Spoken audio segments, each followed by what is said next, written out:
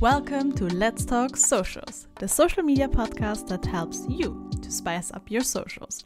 I'm your host, Hanna, a social media manager and coach, and I bring you the latest social media trends as well as tips and tricks on how to leverage social media for your business every Wednesday.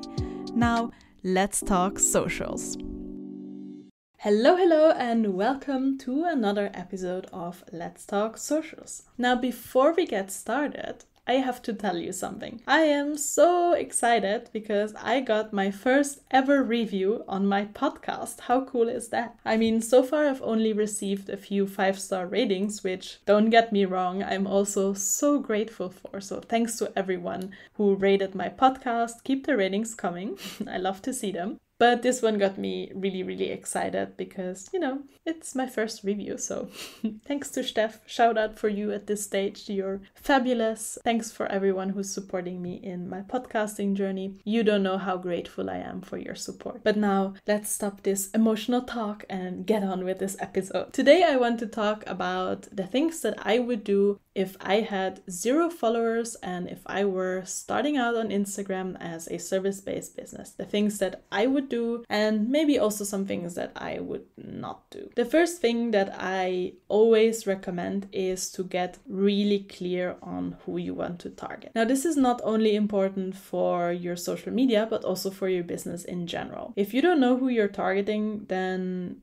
how do you know what content you have to make? How do you know which branding to use? How do you know what topics to talk about? So, you know, if you don't uh, know what your ideal client needs to hear, what they are struggling with, who they are, what they enjoy, what they don't enjoy, then well, you don't know a lot of things. So, it's really really important to to get that sorted out and to know who your ideal client is. How do you do that? I do that every three or four months. I set up a survey, I ask some questions, I send it to some people. It's really easy to get answers nowadays for surveys. You can post them in Facebook groups, you can ask your Instagram audience, you can send them to people you know are in that niche it's not that hard anymore. So, really try to get a good idea of what these people are struggling with, how you can help, what their goals are, etc. So, and once you have these answers, it's going to be so much easier to get answers to a lot of questions that will arise along the way. For example, if you're thinking,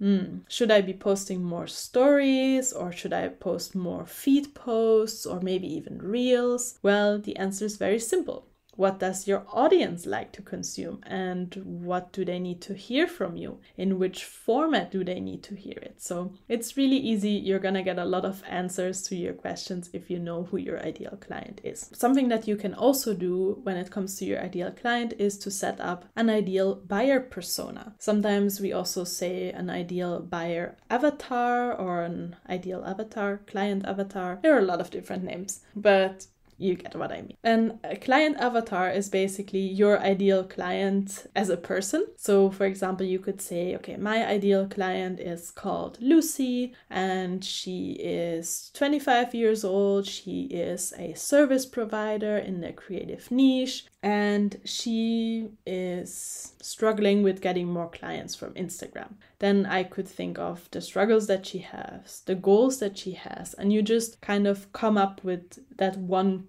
person that you think of when you create content or when you make creative decisions in your business. And that can really help to answer these questions. Another thing that I did when I started my page was I started building a community right away. And I don't necessarily mean followers that then turn into clients, but it's more about finding like minded people who can support you and who you can support as well. So find people in the same niche because they are gonna know what you're talking about, they understand your posts, they might find it more interesting than others, and they will very likely also engage back. Try to find these people. And you know, if I think back of the times when I had, you know, like 50 followers or so, all of these people were people in the same niche. They were mostly also social media managers. You know, it really helped me to figure out the niche as well, to see what others are doing I'm not saying you should copy people, but it's just really good to get inspired by others and to see how they are making things work. So it's really cool to have this kind of support going on. And if I'm honest, I'm still following some of these people and I think they're also following me. So shout out to you if you're sticking around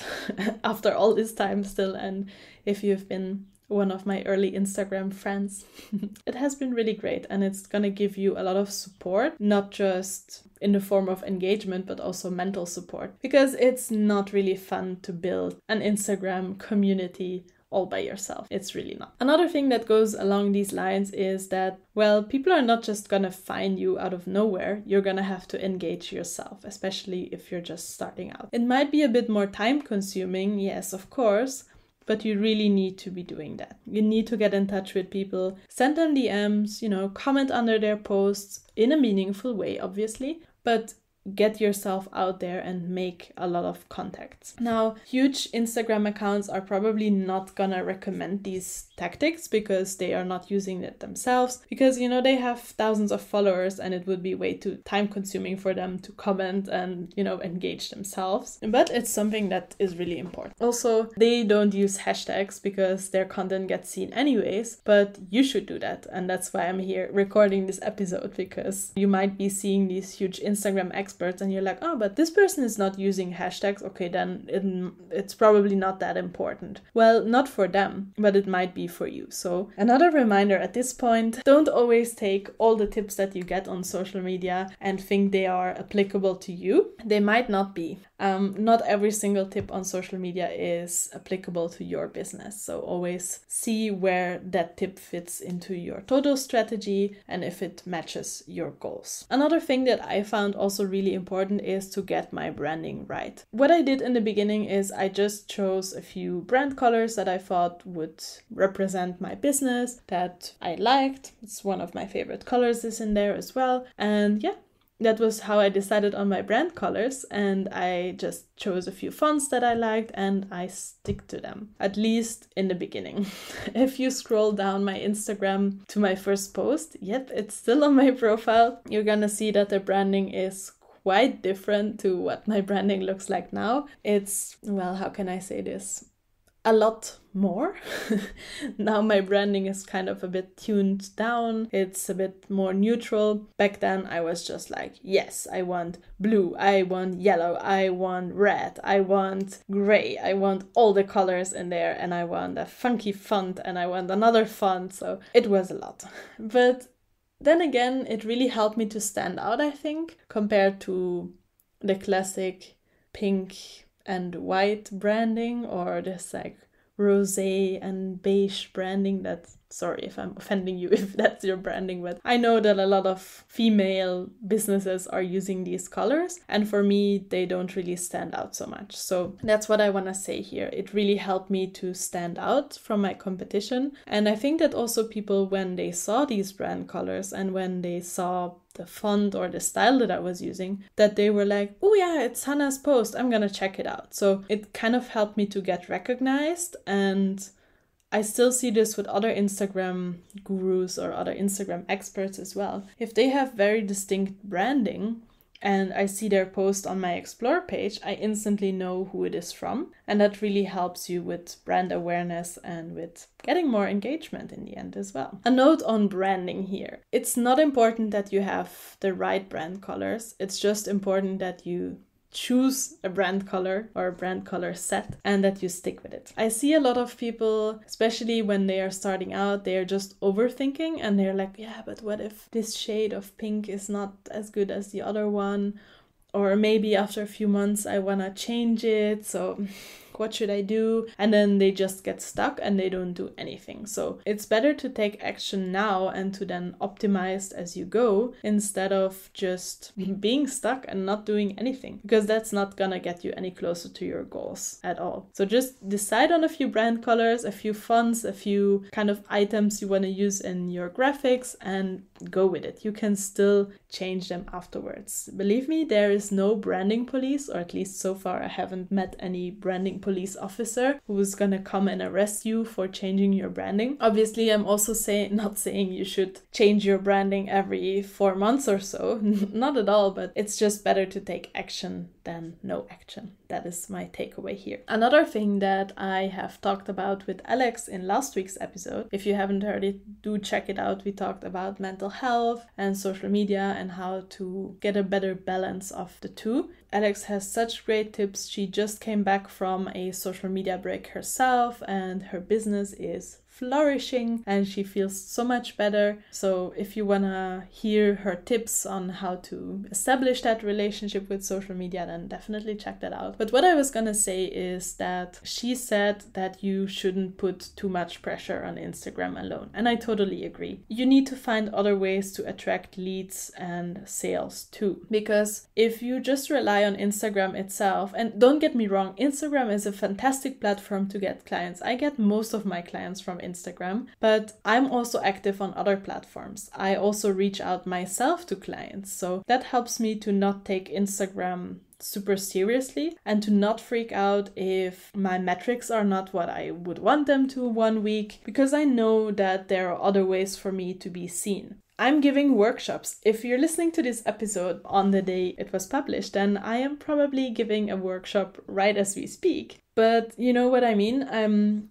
I'm also putting myself out there. I'm I go to networking events, I do workshops, I give presentations online. And there's not just one way to find me. I have this podcast, I have a website, I have a blog. So I'm not saying you have to do all of these things at the same time, but it's just something to think about. Try to be diverse, I guess, or don't put all of your eggs in one basket. I think that's also an English saying. It is one in German. But, anyways, you know what I mean. Just don't focus on one thing alone. Try to have different ways where people can find you, different ways where people can learn about your services, and reach out yourself if you need to, because that's gonna help you to see Instagram as a tool and nothing else. And the last thing I want to talk to you about today is something that I did also, I think, in the first week that I had my Instagram profile, and that was to create a lead magnet. Now, creating a helpful lead magnet is going to help you to transfer the followers that you have gained on Instagram onto an email list. People always say, you never know what's going to happen to your Instagram. Maybe someone is going to hack it overnight and you lose all of your followers. And to be honest, it can happen. I've heard of this before. I know some pretty famous Instagram people who have lost their account and had to start out again. So it's not that rare. So really make sure that you have other ways where people can reach you as well. And the easiest thing to do that is to start an email list. Plus, a lead magnet is also really great to give people a little sneak peek, a little taste of what it feels like to work with you and the kind of content that you provide or the way that you work. If I download a lead magnet and I really like like it, then I know that probably the paid offer is going to be really great as well. So it's a really good way to give your audience a little taste of you and your way of working. If you want me to do a separate episode on how to create a lead magnet or maybe how email marketing could work for your business, let me know. Email marketing works really, really well with social media marketing, so I can definitely do an episode on that as well. Let me know, send me a message on Instagram or on Facebook or an email.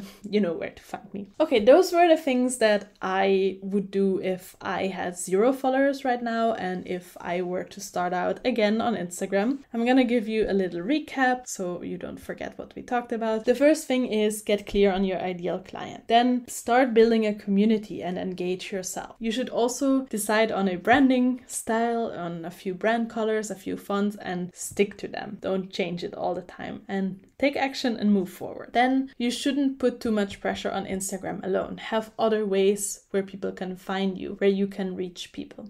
And the last thing I mentioned was to create a lead magnet. So I hope you really enjoyed this episode. If you are just starting out, definitely make sure to also download all of my freebies that I have. There's a hashtag list template. I have a free Instagram guide as well, which comes with a checklist. I have a content calendar template. So if you're just starting out, those are really, really great tools to get you started with Instagram. Thanks for listening. I hope you enjoyed this, and I'll talk to you again next week when it's again time to talk socials.